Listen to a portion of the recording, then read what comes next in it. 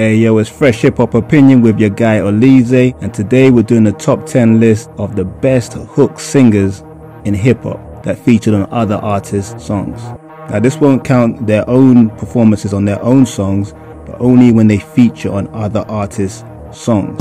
Before we get into that, don't forget to like, subscribe, and hit the notification bell so you get notified of the next episode. Alright, let's get into it. Starting at number 10 is Drizzy Drake. It may be a surprise for some of you lot, but Drake, even though he's had the best run in hip hop history, most of his big songs have been his own songs. And the noticeable feature songs that I would put on this list is on DJ Khaled's I'm On One and the collaboration song with Lil Wayne, Eminem, Forever, Big Hooks. Coming in at number 9, a veteran to the game, sometimes not respected, is Ja Rule. Back in the early 2000s, late 90s, Ja Rule had hip hop on Smash. Kind of the first Drake, really. He's always featured on songs with Jennifer Lopez and his own label mates. But you can't deny Ain't It Funny with Jennifer Lopez was a big song. He even featured on Fat Joe's What's Love back in 2001. Coming in at number 8 is the queen of R&B, hip hop, soul, Mary J. Blige. Now, Mary's featured on a lot of songs over the years, but undeniably her best ever has to be the collaboration with Wu Tang's very own Method Man on the song All I Need.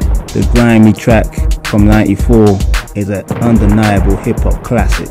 Coming in at number 7, some of you might think should be higher, is Queens very own 50 Cent. Most of 50's biggest hooks were for his own songs, but let's not forget what he did for the game how We Do, Hate It or Love It, some of his other artists, for example, Lloyd Banks on Fire. Coming in number six, the legend Pharrell Williams from the Neptunes, a veteran producer and slash artist. Noticeable songs were on Snoop Dogg's Beautiful, Mystikal Shake Your Ass, and Jay-Z's classic I Just Wanna Love You. Coming in number five, I might be a surprise for you guys, but Rihanna, not known for just hip hop, more of a pop artist, but she featured on some of the biggest songs in hip hop, such as T.I.'s Live Your Life was a big song, Jay Z's Run This Town, Eminem's Love the Way You Lie, and who could forget Kanye West, All of the Lights. Coming in number four is Akon.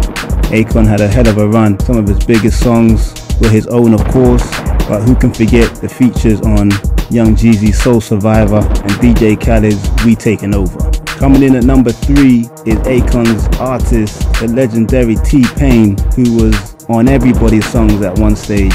But I would say his biggest features had to be Flo Rida's Low and Kanye West's The Good Life. Coming in number two, it has to be the legendary Future. Classic hip hop voice, very distinctive. Some of his biggest songs, too long for this episode, but YG Racks and Ace Hood's Bugatti.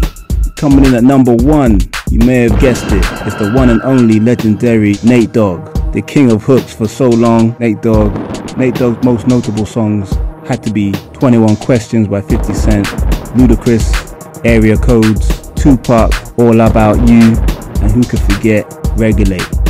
That's all for today's episode. Let me know if you agree with this list. Let me know what your top 10 list would look like. Leave a comment, like, share, subscribe, it's Fresh Hip Hop Opinion. Peace and love.